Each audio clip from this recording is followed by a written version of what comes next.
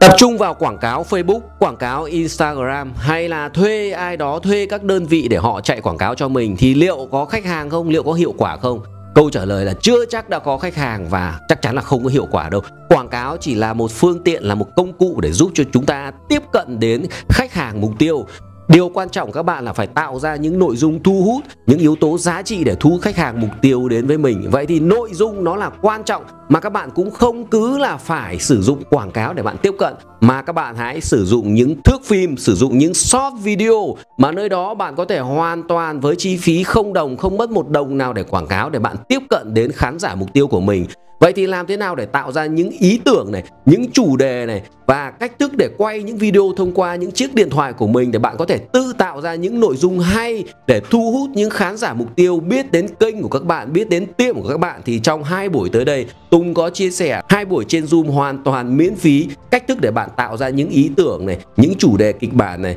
cách cách cách thức để bạn làm ra những cái video để bạn thu hút được thật nhiều khách hàng tiềm năng đến với tiệm của mình. Nếu như bạn quan tâm thì bấm vào trong phần đăng ký. Mình có để nút đăng ký trong phần mô tả và Tùng sẽ đợi các bạn trong hai ngày tới